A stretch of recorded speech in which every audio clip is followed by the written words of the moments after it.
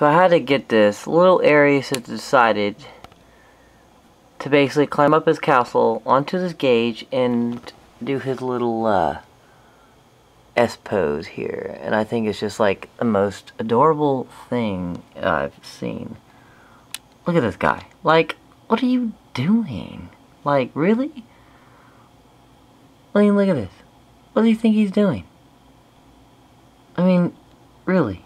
Like, wow. It's like, okay. I just had to get this video for y'all. That was awesome.